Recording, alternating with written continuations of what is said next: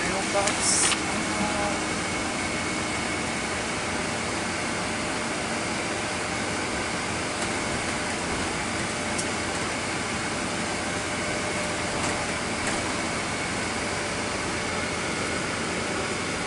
Just give me a minute. Three minute. Basically find out the box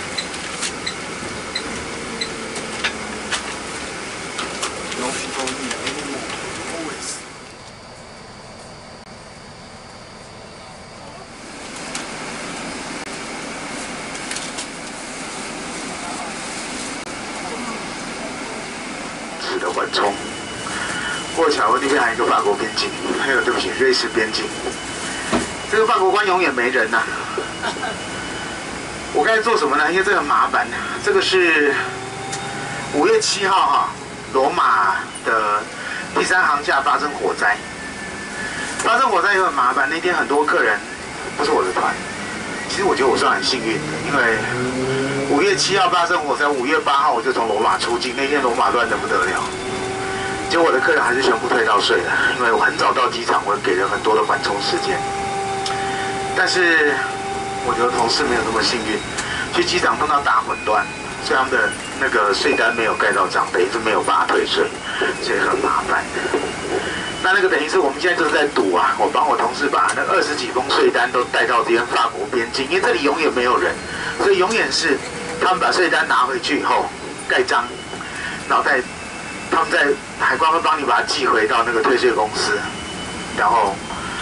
有时候退得到，有时候退不到。那这边就一定要退信用卡，到时候要填信用卡资料等等的。呃，所以这边我要特别跟大家讲，待会我们进到了那个夏目尼以后哈，下午有自由活动的时间，各位先记得，你要在同一家店同一天购买超过一百七十五块欧元以上，那他才会开税单给你。但是各位要了解一点，就是说这个情况就是，我们到时候明天也是一样，离境的时候你要把税单填好，在这个地方我带你去投那个邮筒里面，投完了能不能退得到，碰运气，不保证退得到，好，不保证退得到，所以一定要跟大家先讲，不一定退得到。那我们现在从这边就直接，好，我前面没有多远，过瑞士关以后呢，我们经过瑞士关，应该到到时候是从那个，哎，今天走这条路跟平常不太一样，哎，好，正常来讲就是我们从今天进，从到时候明天从下那个项目你要回瑞士的时候叫瑞士关，你们如果税单就要在年头，所以到时候只要你有买东西的，今天晚上你就要把税单填好，包括护这个护照号码啊、英文姓名，然后包括你的信用卡号码都填好，到时候来这样丢，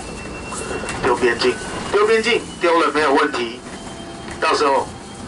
法国海关收走，然后拿去盖，盖了以后就有机会退得到，但是不保不保证百分之百退得到，所以这一点要让大家先知道，这是一点很重要。